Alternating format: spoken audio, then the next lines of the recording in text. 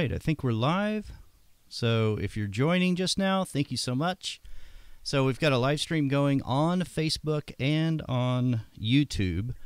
And if you're able to comment, that would be awesome. So, um, and it'll typically it'll tell me which platform you're commenting in. So it's been a while since we've done this, and I hope this configuration is going to work for me. I hope I don't bonk my camera with my head. been doing that as I got it set up, so hopefully I won't do that. Okay. So it's been a while since I was working on this drawing, and I want to make sure that I've got some colors that are very similar to what I had last time when I was working on it. But mostly when I'm looking at it right now, you know, I'm thinking, okay, I got to start right now with what I've got, and I want to establish a bright pencil like the highlight area and a dark pencil. Even though we're on dark paper, this is on UART 600 grit dark pastel paper. Even though we're on this dark paper, I still want to have a dark pencil available.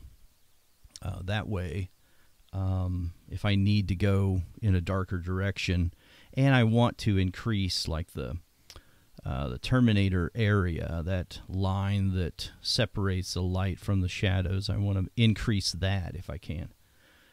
Uh, I just picked up this pencil. Looks like, um, what's this? Van Dyke Brown might be a good one for my dark one. You know, it's not bad. I, I could probably start with that one.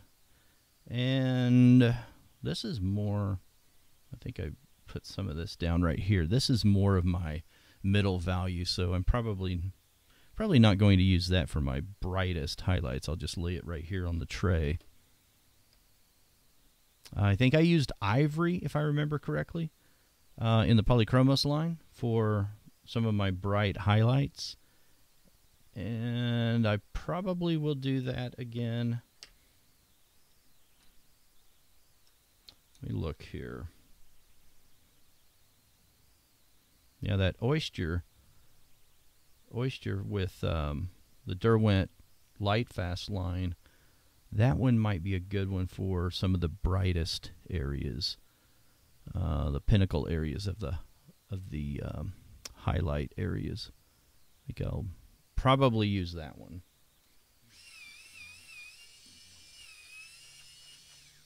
Oh, sure enough, I. hey, Ramona, did you see me hit my camera? I just bonked my camera with my head. I'll try not to do that anymore. I was afraid that would happen. Thanks for joining, Ramona. Ramona's over there on Facebook, on the live stream over on Facebook. Okay, so that one's not bad. I think I will use that, this oyster color. Uh, so at this point, I mean, I'm not, I'm not going to worry about how many layers I'm putting down at the, at the moment, and I'm not going to worry about the exact um, color right now. Hey, Gail, thanks for following here. Gail says she's a new follower over on YouTube, live stream on YouTube. So awesome. Nice to have you. And Nancy, how are you? Thanks for joining. So I'm just going to start working right here in this area. There we go. That could probably be a little sharper. What I've noticed with the Derwent Lightfast line um, is when I'm, at least when I'm putting it down on some of the sanded paper, it, it um, when I compare it to the Polychromos pencil, it's not going on there quite as easily as the Polychromos pencil will. Also on the dark UART sanded paper, I've noticed that I need a little more tooth. Uh, I like that 600 grit. Um, typically with the beige color of the UART sanded paper, I like the 800 grit. But I I find that with this dark uh, version of the UART sanded paper that I need just a little bit more tooth on there.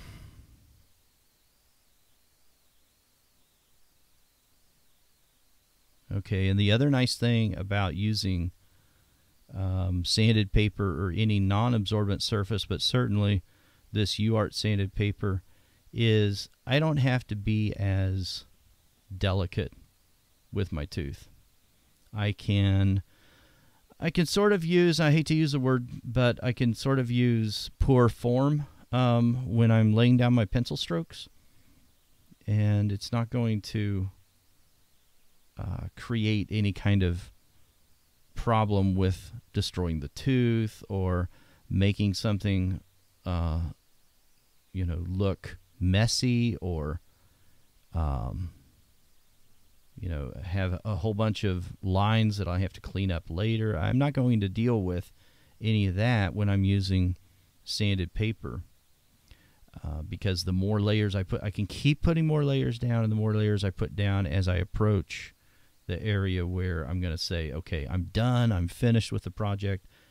Uh, the closer I get to that stopping point, then I can start refining uh, and smoothing out the way that um, my surface is looking. Okay. Take a look here.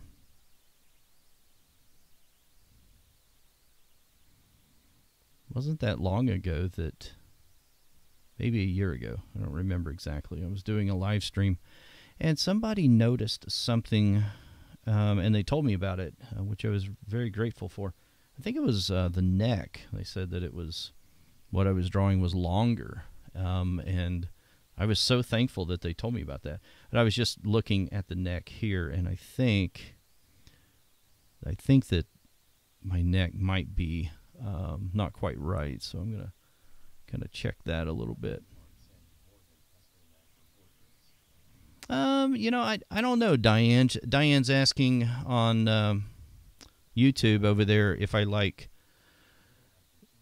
the um, UART.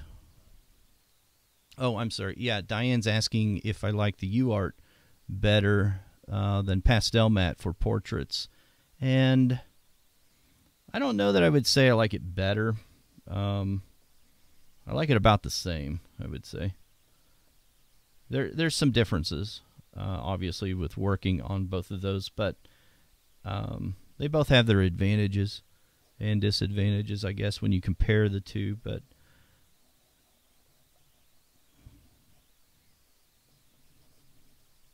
I'll just put this in here somewhere. It's not I don't have to worry about how accurate that is at the moment, but I know that neck is over there somewhere like that, and it comes out just a little bit more, is what it looks like. Looks like that's a little bit too bright right in there. Bella says it's a little after 2 a.m. here, just joining. Oh, my word. That is early or late, depending on how you look at it. To me, that would be early. I'd be up in the middle of the night. Thank you, Diane. Diane said, nice drawing, John, over on YouTube. Thank you. Appreciate that. Yeah, if you've um, if you've been drawing on traditional cotton paper or a watercolor paper with colored pencil for a while, I would really encourage you to try using uh, some sanded paper or Pastelmat, uh, any kind of non-absorbent surface, it is a lot of fun. Okay, I need something to establish that middle value a little bit more right there with the uh, with the philtrum. Maybe this one will work. So this is sienna, and I can test over here and see kind of how light or dark, you know, that would be. Um, and it is more of my middle value. If I put it over here inside some of the light areas that I tested, um, then I can kind of see what it may, may look like on my project. But this is the cool thing about using um, using a non-absorbent surface like this is I'm going to be able to be more intuitive with my drawing. I don't have to be as regimented and reserved and plan plan everything out like I do if I'm using a traditional cotton paper or watercolor paper or, or something like that. I have a little bit more leeway and there's a little bit more room for error. I can guess on certain things right there on my project, which goes against the grain with everything that I typically teach in a beginner's uh, type of workshop or class or online course. But it is a lot of fun to work in this way as well.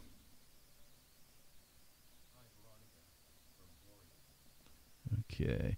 Well, we've got a lot, a lot of people joining. Awesome. Thanks for joining, guys. Um, looks looks like we've got several from uh, over there on YouTube Live. Thank you so much for uh, joining.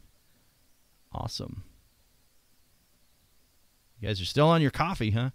I had two cups already, and I am on my tea now, which I better take a sip of this. Ooh, still hot. okay.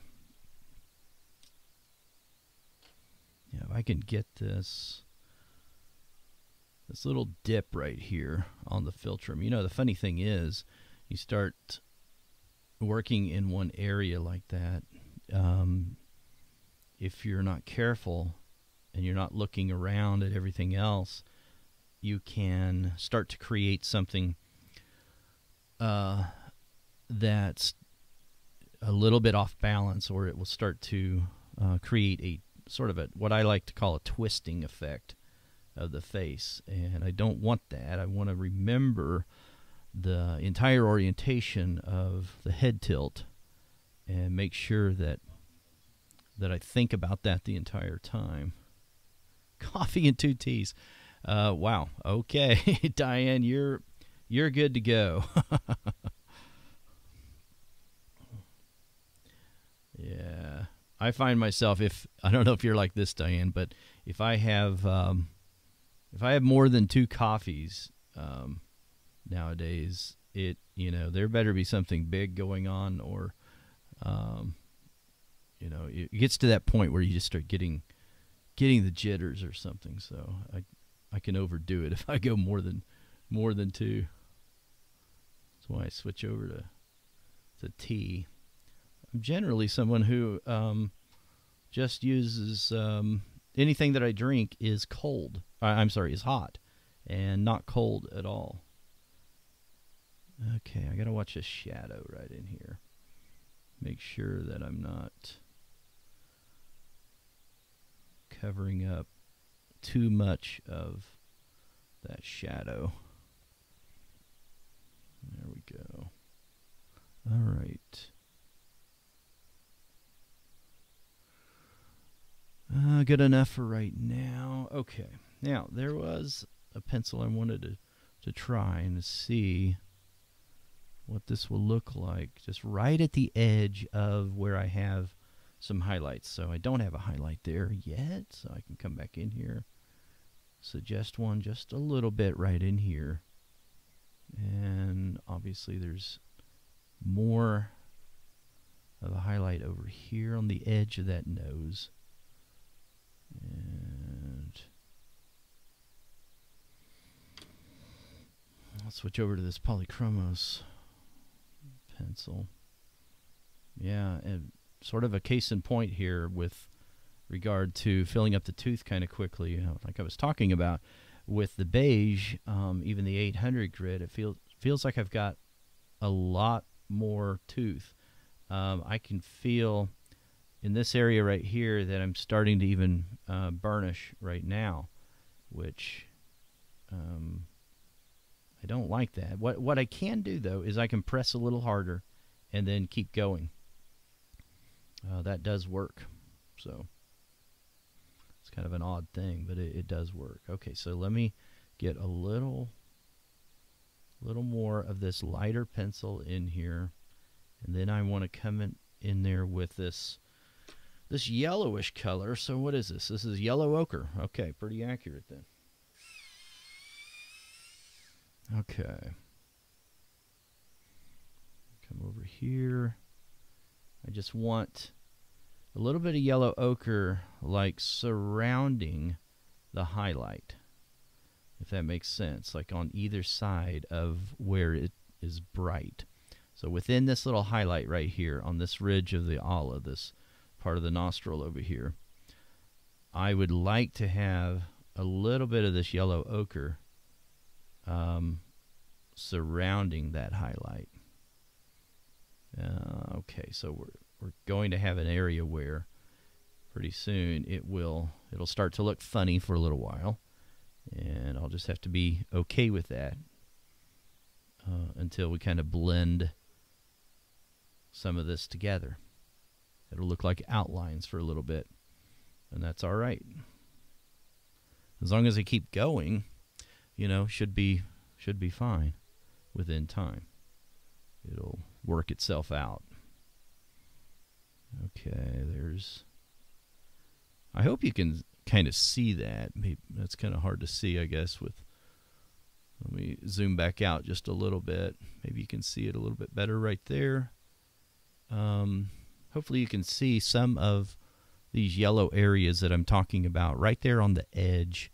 Some of the edges, not on the highlights itself, but right at the rim of some of the highlights. Um, right up in here as well, where the light starts to turn and there's no longer any light and there's shadows instead. And so there's a little bit of a yellowish tint in those areas. Okay, come back over here. There we go.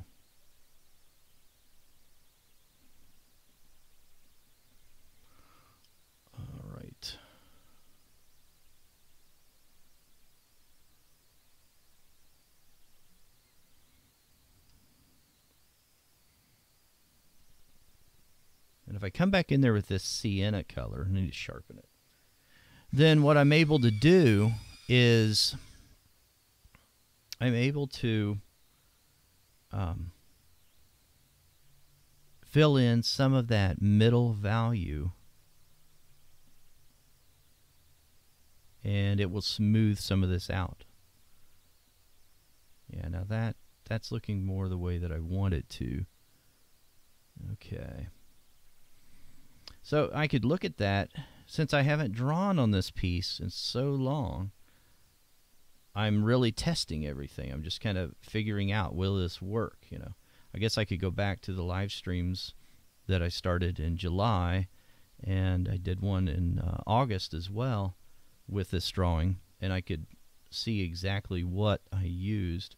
But I think it's also beneficial to just demonstrate what to do when you come back to a drawing. Now, I could spend a lot of time over here on my test sheet and kind of figure out some of my color combinations. Uh, not a bad way to go, especially if I'm using a non-forgiving surface like Stonehenge or something like that. Although you can still change quite a few things on Stonehenge, but um, not as much as you can on this UART sanded paper. So instead, I can go directly on my project, and then if I find it's not working, um, then I can just change it. And I can stop using that pencil and switch to something else. All right. So I want to build that dark value up again that I kind of lost a little bit. Right in there. And I kind of lost it over here. I tell you, when you're using dark paper, especially if you're used to using white, which I am, um, it can be quite challenging because you're kind of you're having to think backwards a little bit. You're thinking in the opposite direction of what you're used to.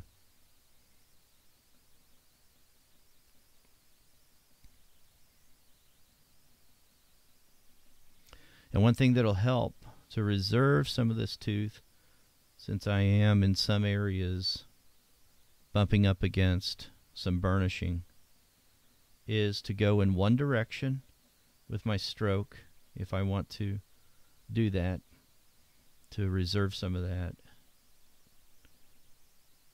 and keep a sharper point on my pencil. I can always spray this though, and uh, a little later on, and then just keep going. That's always an option as well. Okay. So this area has a brighter highlight right in here.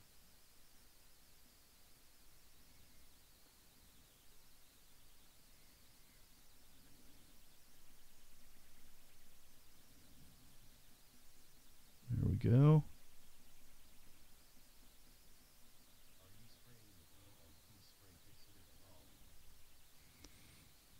Brush and pencils uh, fixative. Nick is asking if I'm spraying with that fixative. Uh, no, I didn't on this one. Um, I have used it before. I really like it. It's a good. It's a good fixative. Um, I've. So most of the time, what I use is the Krylon. Diane's asking um, what spray that I, uh, what spray I do use. I use the Krylon workable fixative most of the time. Um, now it's a it's a great thing though to use like the brush and pencil products. Um, if you're going to use powder blender and keep adding a whole bunch of a bunch of transparent layers on top of one one another, then that's not a bad way to go. Is to spray fixative and then add uh, more layers as you progress through the piece.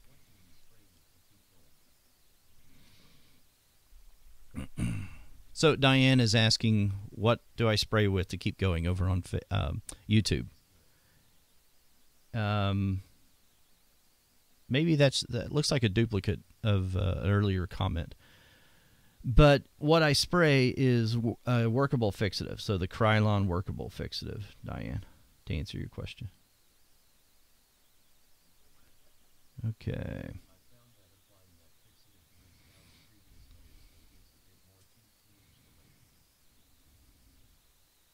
Yeah, that's exactly right, Nick. Thanks for the comment. Yeah, uh, I couldn't agree more. That yeah, you you actually build up uh, another layer. It's like creating more tooth, uh, so you have a new surface to work on when you spray some fixative down, which is so nice. Yeah, the the problem the problem with doing it, the only drawback really, the biggest drawback is that you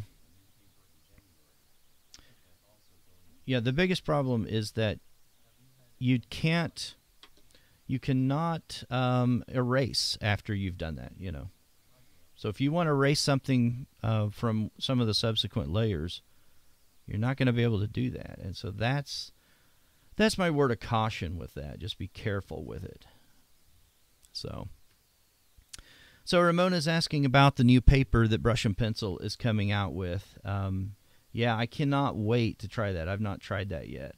Uh, I've been excited about that since Alyona um, announced that at some point. I'm trying to remember when that was. Seemed like maybe summertime. I'm not sure, but it looks it looks nice. It looks very exciting. Um, I mean, what's you you know how it is. New new products, right? we go goo goo over new products and just you goo I guess, and just get so excited about that. Okay, let's see here.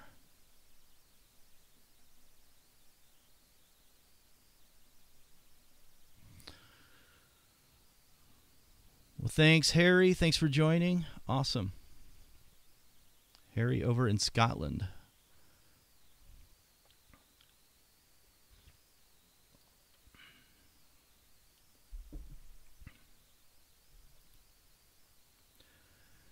Okay.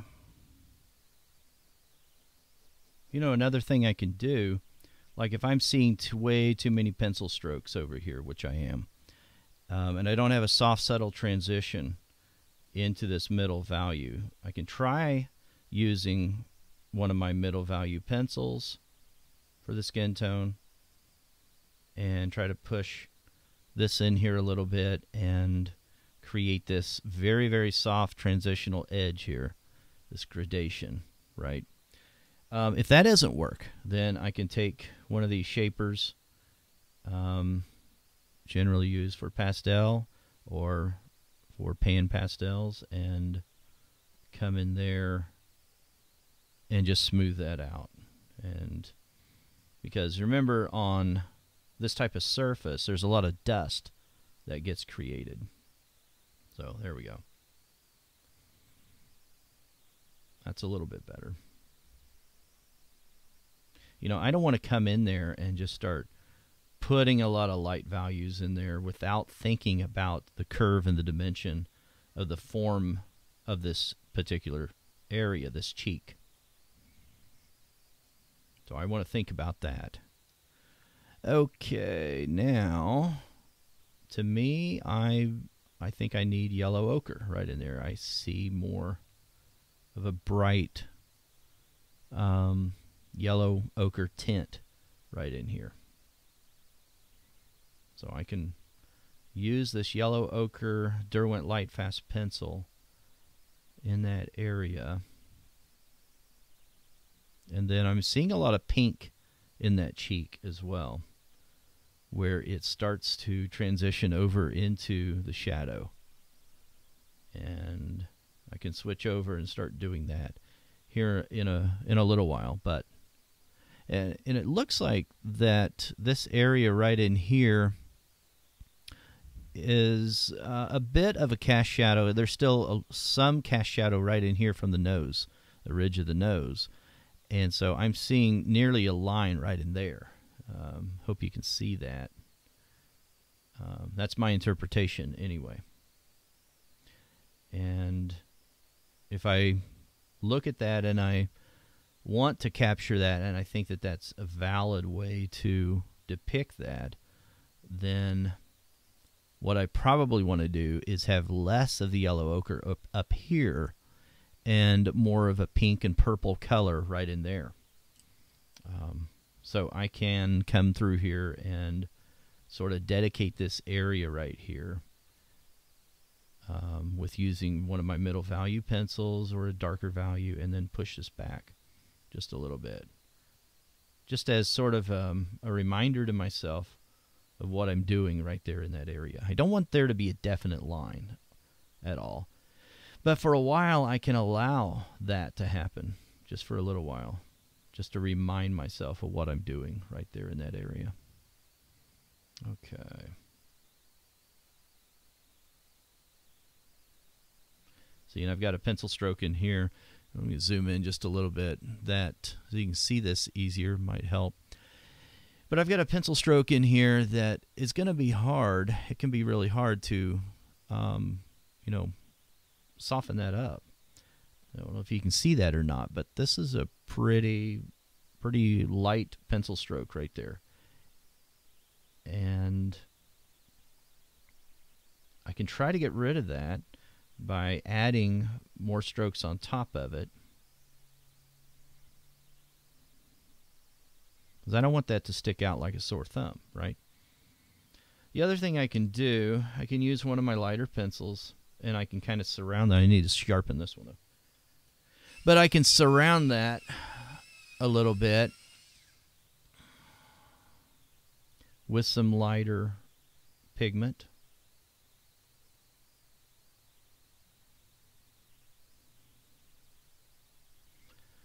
So I'm building up that same tonal value right there. Sort of on a micro scale, right? And and I'm and I'm getting picky and I'm seeing a lot of other areas as well. Okay, but once I've done that and I've brought it up to that same uh, tonal value, then I can come back in here with this middle value pencil and smooth that out a little bit more. hopefully I'm seeing that accurately when I'm looking over here at the live stream and I'm seeing what what I'm um, putting down over here, I, I can actually see it slightly better than what I am looking at my project with my with my eyes through these through these new glasses. These glasses, um, they're not they're not new. Had them for a while, but I'm trying. I'm giving them another shot, trying them out again, just to see if I can get used to them.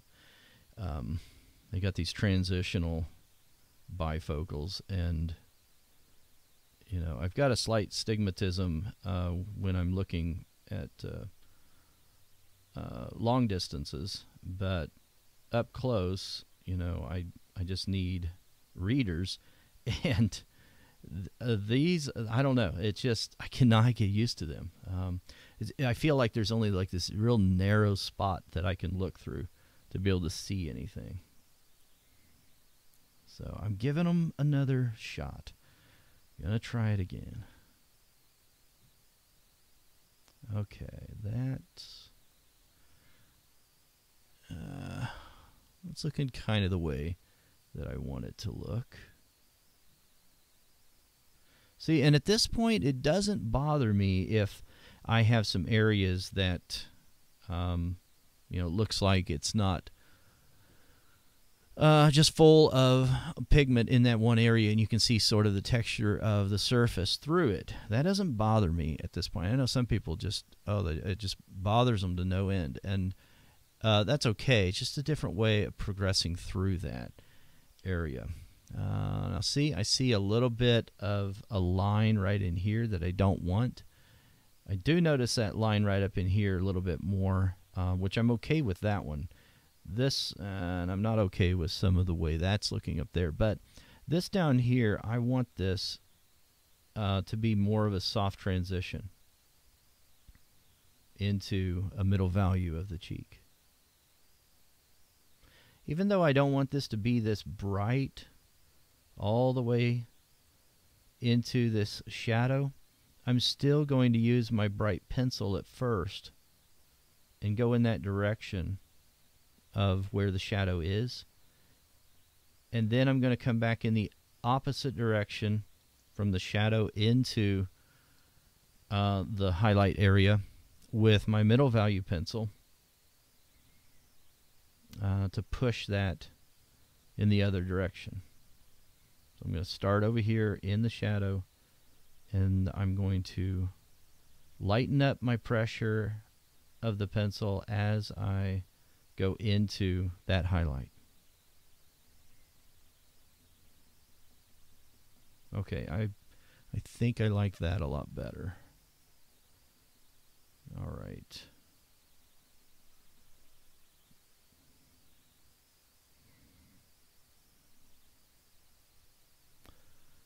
This can be so much brighter than what it is right now.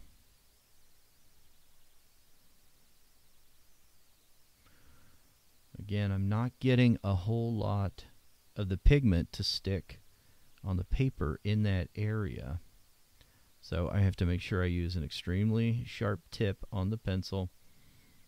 Uh, I'm okay with it not adhering just immediately and very quickly.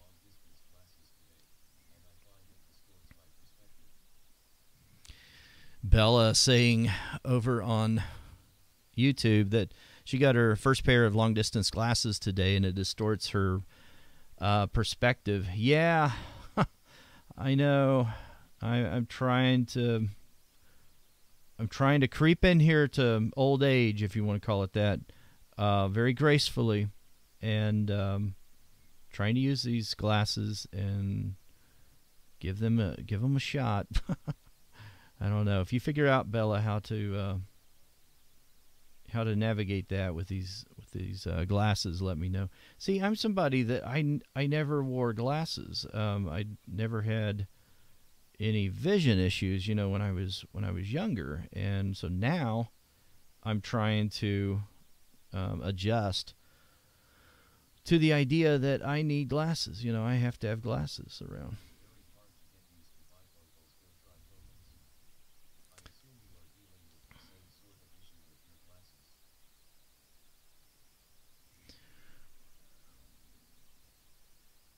Okay, that needs to wrap around. See, it's exciting to me when I look at some of these areas that I know later on I can use some very bright colors and it'll look uh, very nice. It can look very, very nice. Like I can use a bright red in some of these areas and it'll look uh, very convincing when you look at where the light is and then where that light switches and transitions over into the shadow. Um, and this is kind of what we're doing right now with that yellow ochre. Uh, we're getting, you know, some of those those very warm colors in there surrounding the highlights. Diane says she's got glasses and she uses a magnifier sometimes as well uh, over on YouTube. Yeah, I I used to use a magnifier. Um, I don't really do that so much anymore, but it does help, doesn't it?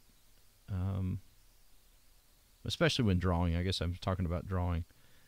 Not sure if you were Diane, but um, I like to sometimes you be able to see some of those real tiny details, and nothing can do that any better than just some type of magnifying glass. I was wearing jewelry specs for a while, and I started noticing that I started drawing smaller and smaller when I did that, and like, okay, that's not gonna work for me. Time I'm done, I'm gonna be, you know, going down so small. I'm gonna be using like I don't know, artist trading card size or something, and that's not gonna not gonna help too much.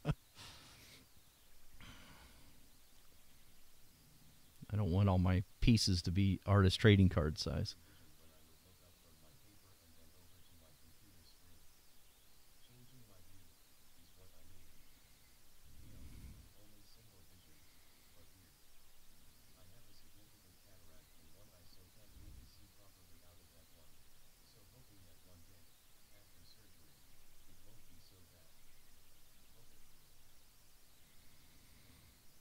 So sounds sounds like Bella, you're going to have the cataracts um, surgery. So I hope hope everything goes well with that. I've my mom actually had that done. I I've heard people talk about how much that has helped.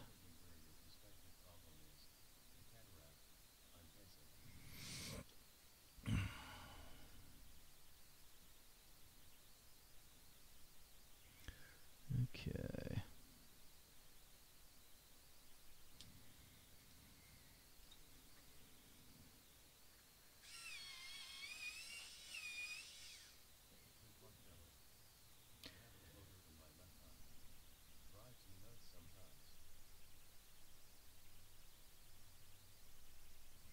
I'm going to use this Derwent drawing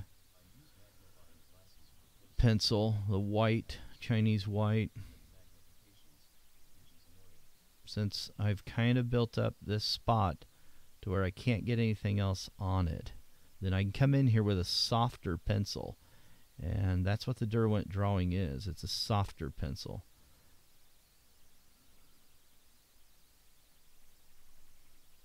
It leads, leaves um, residue. It leaves some because it's so soft. It just kind of leaves some of itself behind, you know, like some shards behind. And um, when I'm using it, I'm never thinking, okay, this is this is real, real permanent because sometimes it's not. Uh, you can go over it with a polychromos pencil or something that is a harder lead than what the Ch- Chinese Derwent drawing pencil is, and you're going to you're going to rub some of this light color off when you do that, which is fine. It's it's just part of the the properties of this particular pencil. Okay.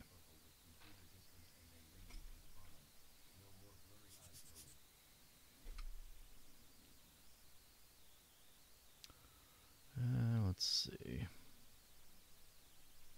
Well, I need to sharpen that one.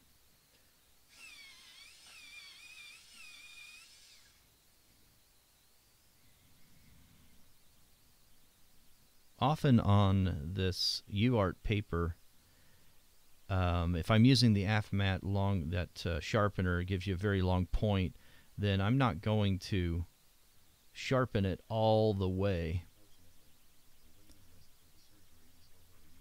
Because if I do, then sometimes I'll break off the little tiny point off of the, the tip of it there. Um, so a way to get around that is to not leave it in that sharpener the entire time.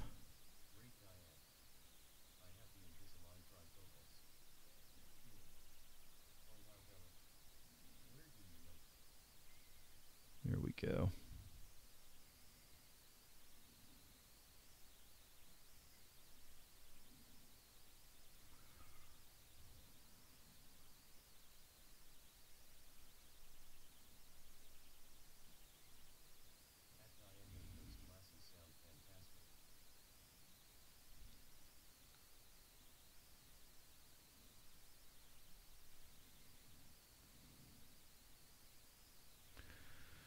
All right. I'm always amazed at how much time has passed when I'm drawing. I'm sure you guys can relate to that. It's like you look up and wow, 30 minutes or an hour has gone by and it feels like you just started. And it looks like we're about 40, 41 minutes in and I feel like it just turned on the live stream.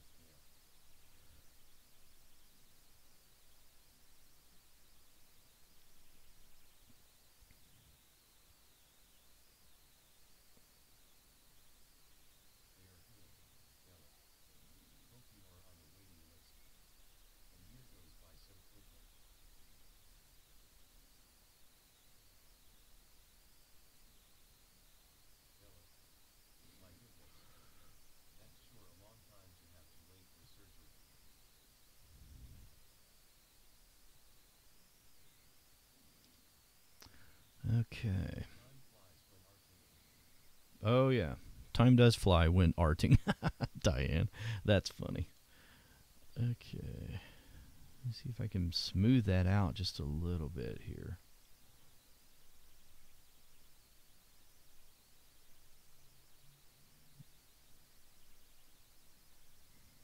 We can smooth that out and at the same time take care of some of those issues with some of those lighter pencil strokes that I don't want. Um, they're okay, but I don't want them to become distracting. So I feel like I haven't really done a lot. Ah, Bella is saying she's getting back into art after a 20 year break over on YouTube. Well, welcome, Bella. That's so exciting. Welcome to the community. Um, there's a lot of us in that same boat. I was in that same boat about 10 or so years ago.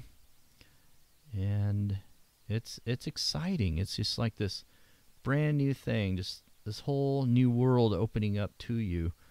Uh, so awesome! I'm so excited about your journey with that. It's just it's just so fun. Okay, let me put a little more value right in here.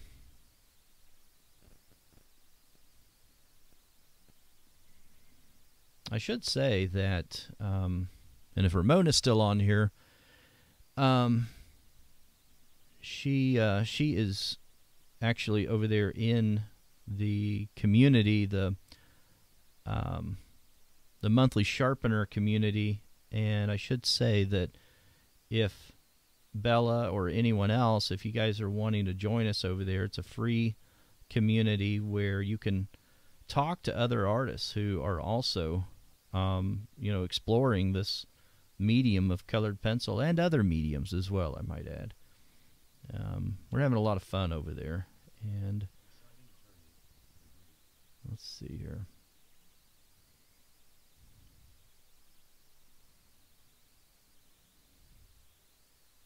Okay, let me see if I can. This part over here under uh, surrounding the eye. I mean, this is this is very bright right in here.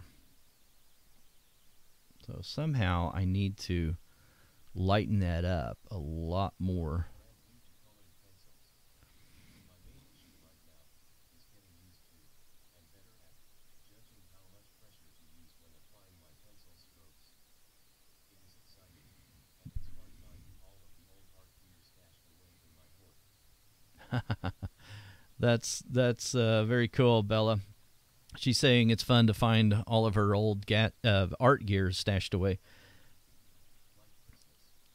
and she she is also um, uh, challenged by figuring out uh, the pencil pressure. I think you said. Um, if I can read this correctly, uh, let's see here. How much pressure yeah to add to your pencil stroke. Yeah you know that that is something that can be very challenging. And what i usually encourage newer artists to do is to do a pressure stroke um, grid a test. And that's something that you know i walk through in the beginner's colored pencil course. But if you do that you can figure out you know how much pressure um, you're putting down. And then, you know, that's going to change. It's going to uh, make a difference depending on what support, you know, you're using, what kind of paper. Um, so I I don't think you have to get way too technical about it. I mean, because I've seen I've seen some uh, documents where somebody will an instructor will tell them like there's a four pencil pressure, an eight, and I, I mean just all these technical things related to pencil pressure, and I, I can understand why um, someone would advise that kind of thing. But at the same time, you just kind of have to figure some of that out for yourself as you're progressing through your pieces. And, you know, you'll get there. You'll learn how uh, to know how much pressure is uh, needed in a certain area. But at the beginning, I, I totally get that. It, it can be uh, a little a little daunting, and it takes it takes some practice, and you'll get there. Okay, build that up just a little bit here.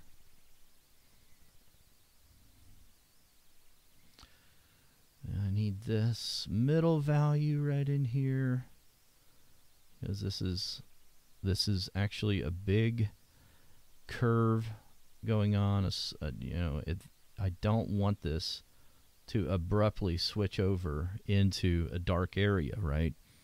I need there to be a gradual transition from light to dark. Okay. A little better at the moment for the time. That should work. Mm. We have to figure out, we have to readdress the sclera of the eye, the white of the eye, figure out what colors I was using. Um, is that I need to look at the shape as well, that overall shape of the eye right in there. Uh, there we go.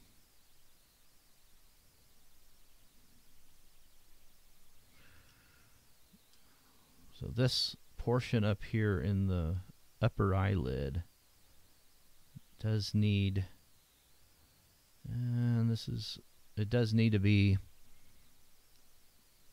um, a little more, it's not accurate right now.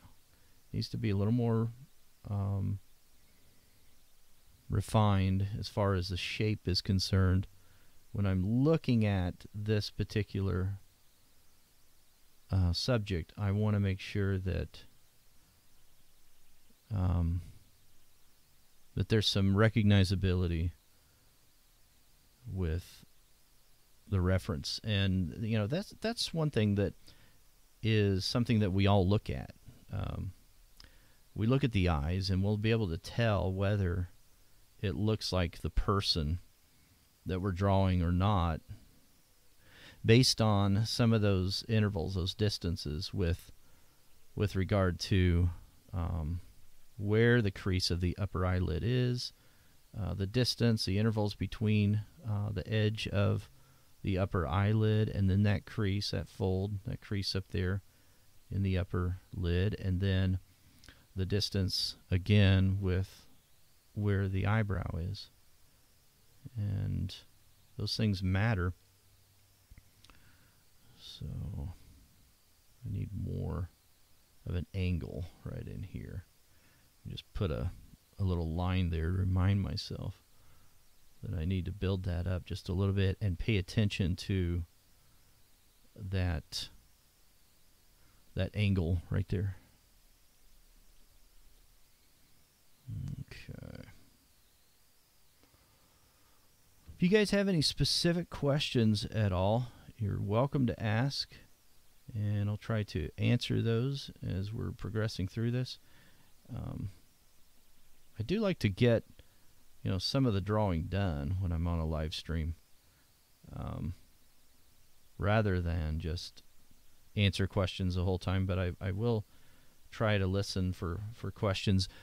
I've got this text to speech on the chat window, which curates it from both Facebook and YouTube at the same time, and it will um, use a computer voice to tell me exactly what you've typed into the chat. Sometimes it doesn't get everything real accurate, so I have to glance over and make sure that you know what was said is actually what what I think uh, was being read to me. So that's that's what's going on there.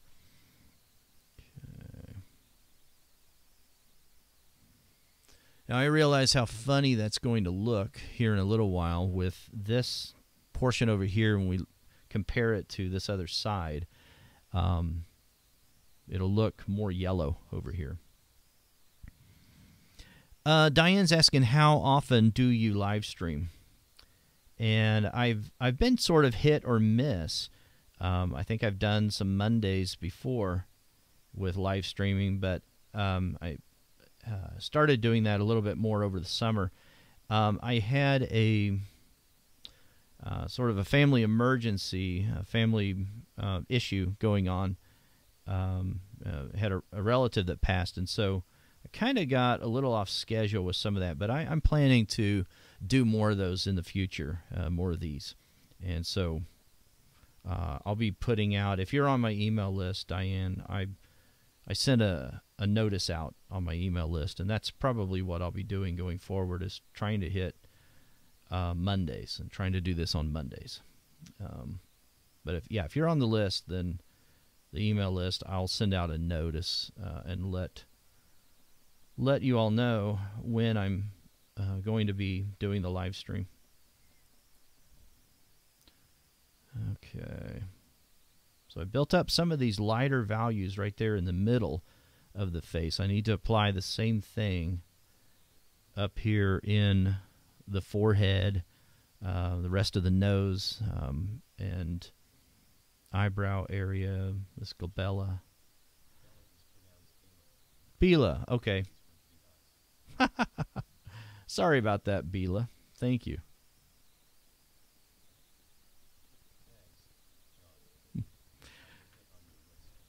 Cool. Thanks, Diane. Sounds good.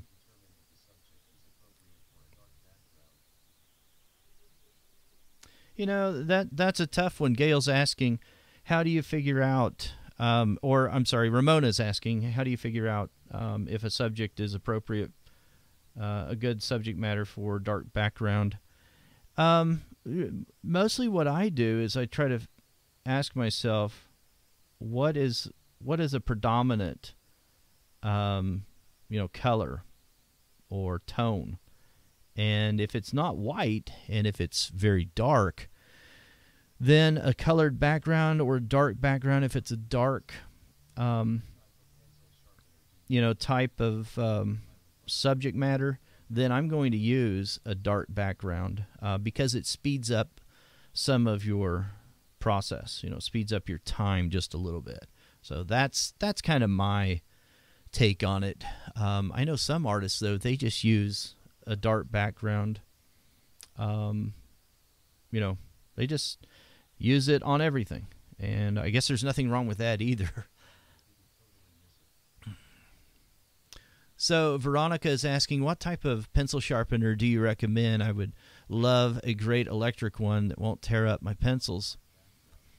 Yeah, um, Veronica, the pencil sharpener that I've been using lately is called the AFMAT sharpener. It's an electric sharpener, It's blue and black. I can hold it up here. Hopefully, you can see this. Uh, that's what it looks like. And it's got a charger. Uh, it's just got this cord, and I've got it out right now only because uh, I just charged it a little bit more. But it's such a nice charger. You can. It's a retractable uh, cord that plugs into a USB. You'll get such a long, nice, sharp point on your pencils.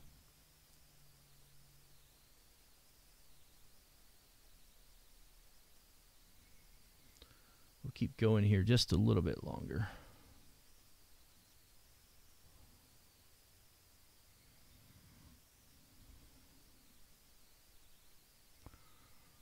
If I don't, you know, um, cover some of these other areas right now, then I may forget what I've done or how I progressed to this point in the piece when I'm looking at the cheek over here, especially this cheek that I've worked a little bit longer on. And so I do want to suggest some of these tonal values in here, even if I don't refine some of these large shapes and I don't smooth out some of the areas I'm working on. I do want to just stick some of these colors in there, if you will. And I can come back to it later, you know.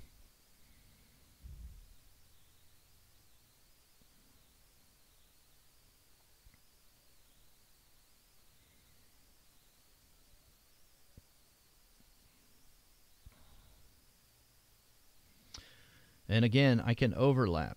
You know, I can overlap some light areas into the dark areas. Uh, Diane, you're saying that the um, luminance pencils will not uh, fit into the AFMAT sharpener. Um, I use it all the time for the, my luminance pencils. It has two different um, hole options. And there's more than one AFMAT pencil sharpener, so I'm not sure which one you have. But um, I've not ever had a problem with it so far. It'll even take my Derwent drawing pencil, which is, I think, even a fatter barrel than my Luminance. I'm pretty sure. I want to make sure I'm telling you the truth. Yeah, yeah, I just tried. Um, I think these are larger. I may be wrong about that one of you guys may know. Um, I think the Derwent drawing is a larger barrel in diameter than the Luminance. Maybe they're the same, but I thought they, that Derwent drawing was larger. But anyway, uh, the AFMAT one that pencil sharpener electric one that I'm using um, will handle both of those. And there's two different hole settings, one for a smaller barreled pencil than the other.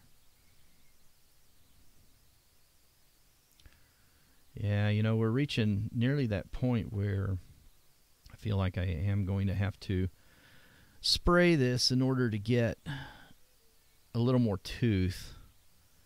Um, but before I do that, I would probably smooth out some of these areas.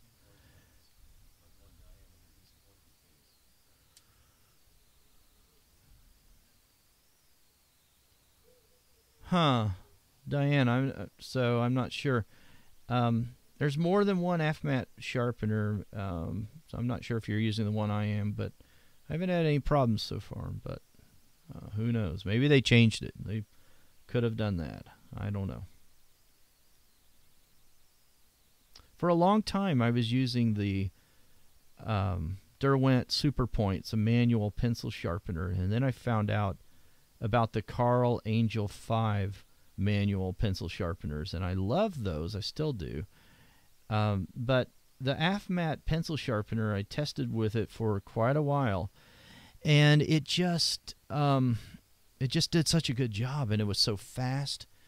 I, used one, you know, one hand operation. It was just so quick to be able to sharpen my pencil quite quickly and just get back to drawing that I just I, I couldn't help but use it. I mean, I had to use it saving me time, um, you know, and not breaking the pencils. Even on some of those manual sharpeners, I would break pencils once in a while. And I've had the AFMAT sharpener break a pencil uh, pencil lead that is, um, you know, just very, very few times.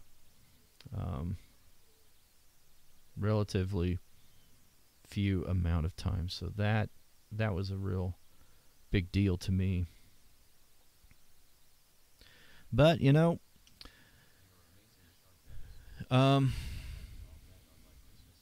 but uh, Diane is uh, saying that she was having some problems. So your your mileage may vary, I suppose. Um, and the one that I there there are more than one. Uh, there's more than one model, I should say. And the one that I have, um, I thought was around 16 bucks. So it really wasn't breaking the bank or anything. It wasn't a real expensive sharpener. Um, but there is there is another one uh, that's sort of dark, um, see-through kind of. It's that clear kind of plastic, and it has a dark tint to the glass. I guess. I hope not either, Gail. Um, I, I, uh, she's asking. Um, you know, she has it in her wish list on Amazon, and she's hoping that it hasn't changed from the one I have. Yeah, I mean, I haven't heard from anyone else that it's changed, but um, but anyway, it's a very responsive company. I'll tell you that. Um, I emailed them about something. I don't recall what it was now. Um, and they offered to uh, send me out some free stuff and things like that. And I didn't. I did not take them up on that. I. Um, but they were responsive and emailed me right away. I generally try not to take free things from companies because I don't want to. I don't want to um, recommend something and then uh, have to give that disclaimer that I'm sponsored or that I'm, you know, receiving free products from the company. Not that there's anything wrong with that, but uh, when I'm listening to a review or I'm hearing someone recommend something, it does taint the veracity of what they're saying just a little bit for me. I, am not saying that they're lying. They're they're they're probably not, but I'm just saying it it it is at least in their mind that they got this from the company uh, for free, and so you know. Good. Nancy's just saying over on Facebook that she just bought the this sharpener and it looks like the same as mine. So that's good. Yeah, Diane, I agree with you. Um, she just said AFMAT has great customer support. Yeah, that's what I thought. They just seemed um, like they want to stand behind their product, uh, which is a big deal. Because you can go out there, I mean, I'm sure you guys know, you, you go out there, there's hundreds, right, of sharpeners. So many to choose from. Um, so it's you know, there's no no lack of sharpeners available. Okay.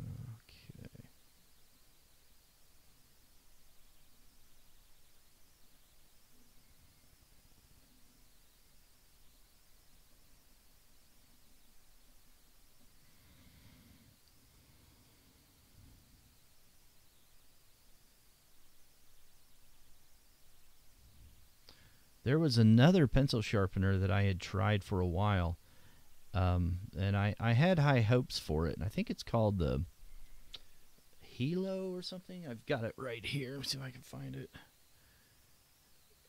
Halo. It's called the iPoint Halo by Westcott. Um, here's a picture of it. I don't know if you guys have tried that. Um, and it, it did all, it did all right.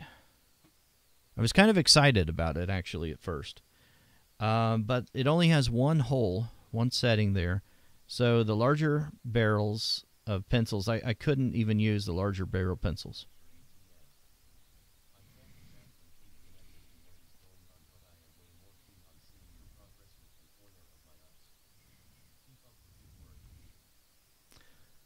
Oh, thanks, Sergio. Appreciate that.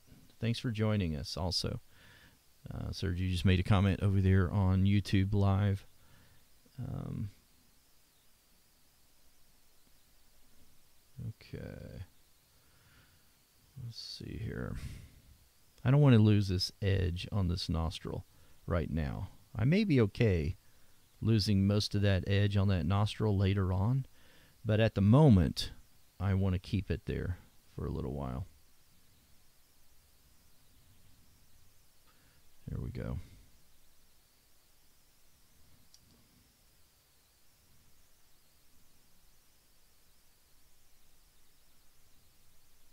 How many of you guys are at work right now sneaking a peek?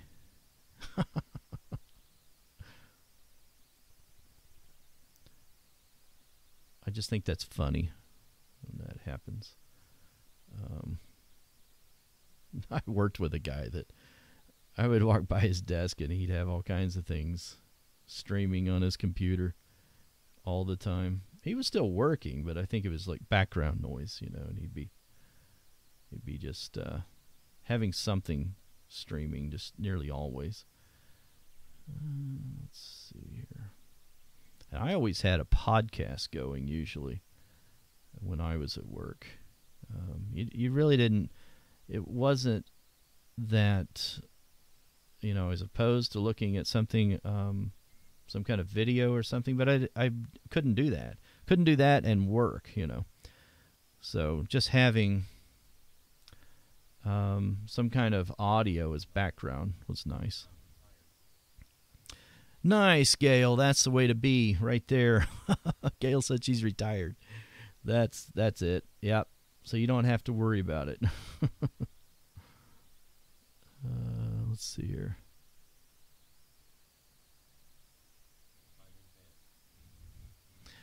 In bed. Bila says she's in bed. Well, so I think that's interesting. It's like you never know what people are. Sometimes people are are uh, you know jogging or something when they're listening to podcasts, especially. But yeah, I forgot about that. It is nighttime over there where Bila is.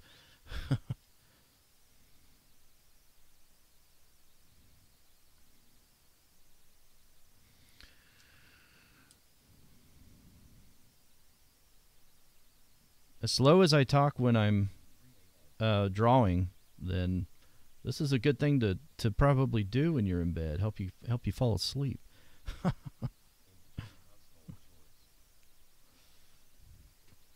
So Diane says she's in between household chores. There you go.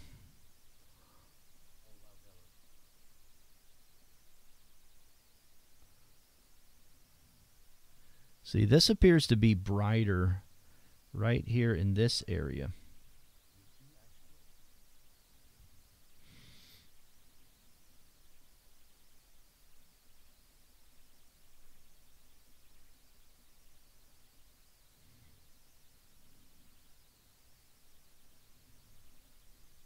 That actually is the brightest areas in the entire piece if I've judged that value correctly. And so right here at the tip of the nose is a very, very bright area.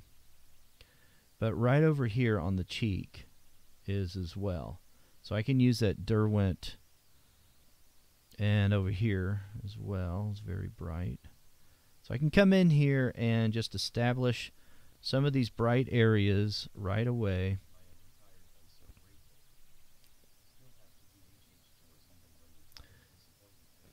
And then if I do that, when I come back to the drawing, I'll kind of know what I was doing there.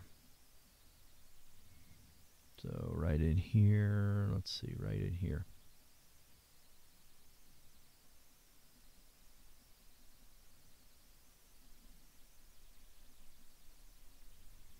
Now, I'm not worried about this looking beautiful at the moment. I just want to establish that those are highlight areas.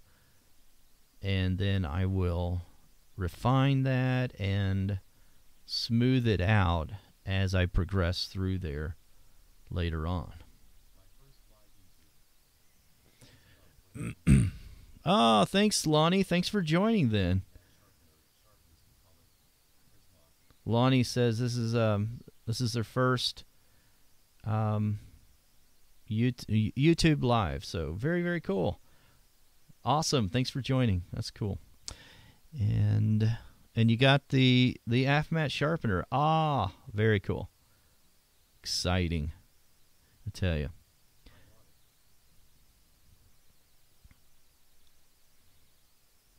Let's see. We've got bright areas right here as well.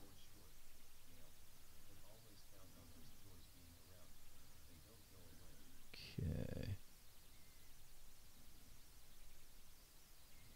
Do you guys have some kind of strategy for getting those household chores done? Like, do you mix it up with art time, that kind of thing? Like, okay, play. I I, I like playing these mind tricks on myself. Like, okay, if I, um, if I do this particular, if I do some laundry, then I can go and I can draw some more, that kind of thing. I, I do these little mind tricks to myself sometimes.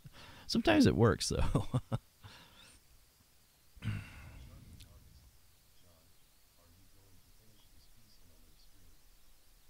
Yeah, I, w- I want to. Uh, is asking if I'm going to finish this piece in a live stream. Yeah, that's that's my goal. That's what I want to do. I'm go- going to put it away until next week, and we'll come back here and we'll do it all over again. Yeah, I think that's a, a fun way to do it, Diane, don't you? Um, or, you know, stacking things. saying, okay, if I if I want if I want to do this thing, this whatever this pleasurable uh, hobby is, then I'll also at the same time do this other thing, you know, or one and then the other, that kind of thing. Uh, it's a good way to increase uh, good habits as well.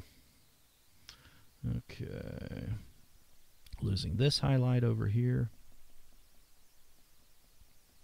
Make sure I get that back. These lips need to be brighter over here. Mm.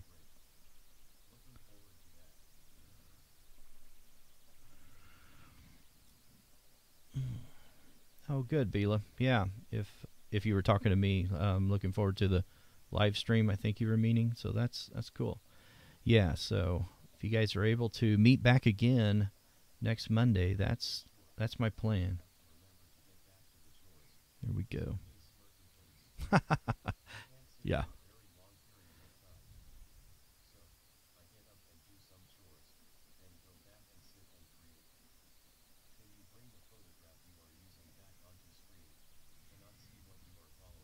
Yeah, someone said, let's see. Bila's asking about seeing the photograph. So there we go. Um, zoom that back out just a little bit so you can see that. And I'm just putting these brights in here for right now. I think somebody asked about colors uh, a little while ago. Uh, I, looks like I lost that comment, um, or someone was asking something about the colors. But yeah, I'm right now. I'm just trying to establish like some of the light areas where those are, the brightest areas, I should say.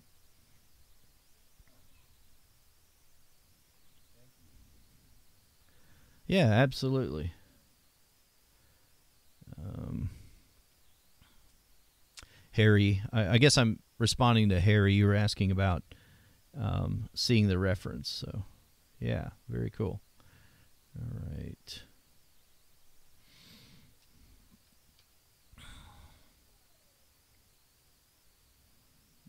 This can be brighter right up here.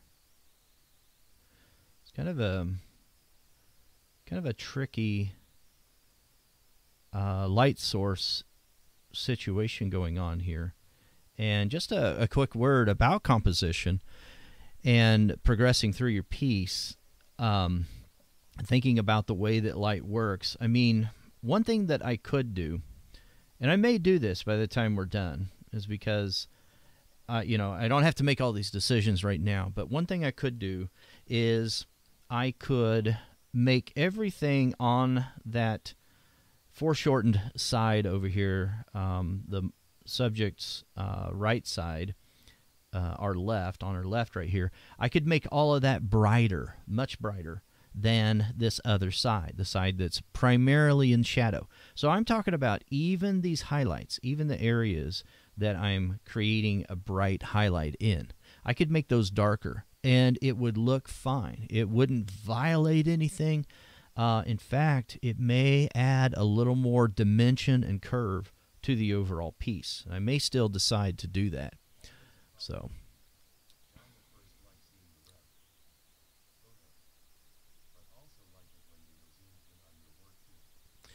Yeah, Gail saying uh, she liked it also when um, we're able to see the zoomed in level of detail when we're uh, working up close on the piece. Yeah, I, I can understand that. Um, so I just thought I'd zoom it back out for a little while here. Can't make everyone happy, right? um, but it is nice to look at it very, very close and look at all the details like that. But then to uh, even you know even progressing through your own piece, it's nice to step back from it for a little while and look at it from a distance and be able to see what's working and what may not be working. Sometimes we get too close to our pieces. Now see this area right in here is very very dark. There's some dark dark areas that I don't want to miss. So I'm going to come in here with my dark indigo and just establish some of these areas again and make sure I don't lose them. So right in here is a good one. Right there. Right over here. I want to make sure that I have a good value separation, you know, on some of this. Uh, and right over here, I mean, this needs to be pretty dark right over here by that edge of the nostril.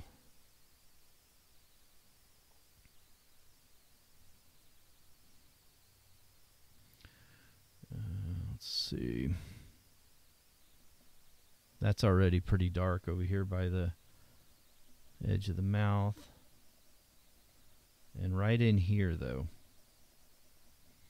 I'm interpreting that as being pretty dark right there by the chin and then underneath uh, the jawline here on the neck, right by the large muscles of the neck, and up here. There we go. Um, right over here, this is always something that you want to make sure that is very dark, typically.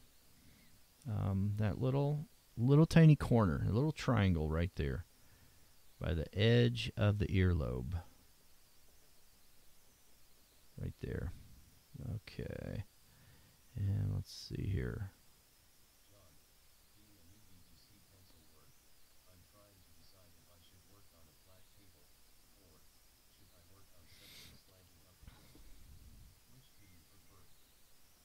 Gail, what I'm working on right now, so Gail's asking, being new to colored pencil work, should she work on something that is flat or uh, something that's more upright? And I'm working on something that is not flat.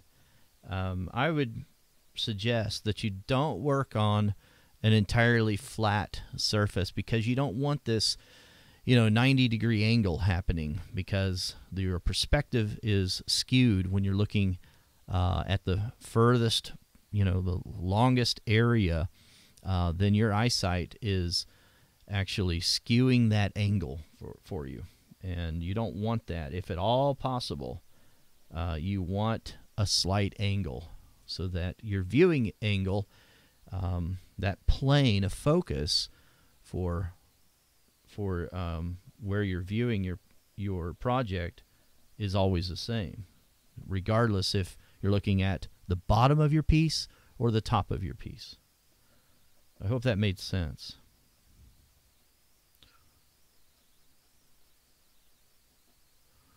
Okay, yeah, that's starting to look a little funny, but that's fine because that's kind of what I want. Okay. Yeah, you're right on. You're welcome, Gail. You're right on track there.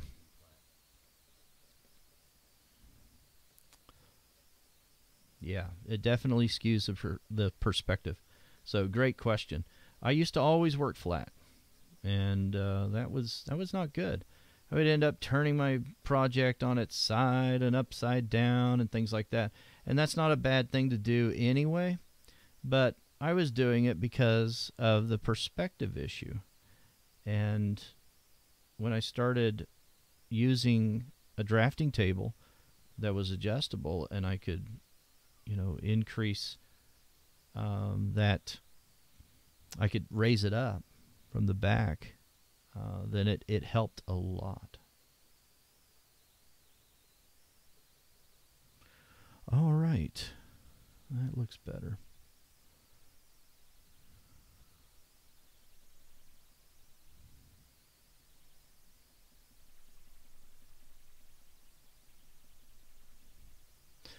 All right. Well, if you're watching the replay, don't forget that you can speed this up as well.